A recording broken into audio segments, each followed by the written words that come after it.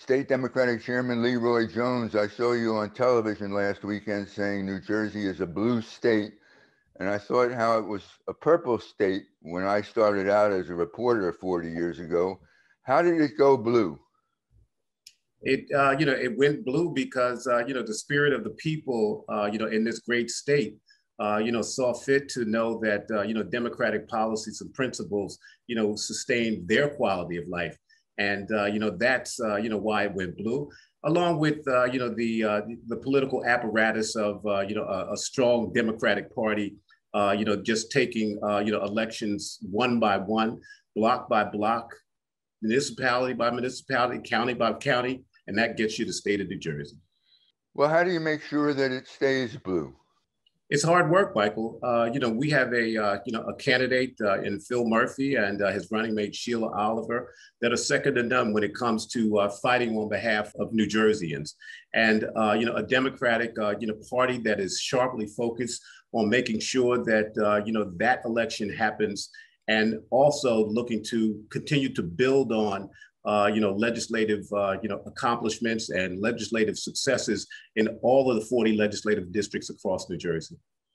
The one wild card in the Phil Murphy Jack Ciattarelli race could be if there's an outbreak of COVID 19 during this fall election season.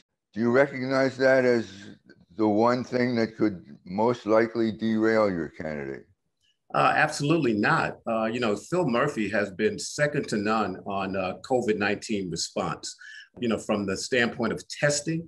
Uh, you know, to uh, you know a robust vaccination uh, you know program, and you know he's relied on the science, Michael, and you know that's what separated him, you know, from you know from Jack Ciattarelli and so many others for that matter. Phil Murphy has been that that one hero, that one leader uh, you know, across this nation with no doubt and without equivocation has been the governor who has been the responder and the protector of people against COVID. I think that's true until a few months ago when the election started looming ever closer and closer. And instead of just following the science, I think Phil Murphy is following his political instincts a little bit as well. Would you acknowledge that? No, I don't. You know, I don't think that's correct, Michael. Um, you know, I think uh, you know, uh, you know, the governor is you know trying to uh, you know get back to a state of normalcy here. Uh, you know, as I said, uh, you know, a seventy percent vaccination rate. Uh, you know, is you know gets us to you know gets us nearer to herd immunity. you know, again, there are folks that you know need to understand that you know vaccines are the answer to fighting COVID, and you know he's not you know he's not lost you know that the intensity to continue to encourage people and and show people that the science uh, you know is uh, you know the way to go and vaccines is how we continue to combat covid and any um, you know any other variant of uh, you know this vicious uh, uh, virus.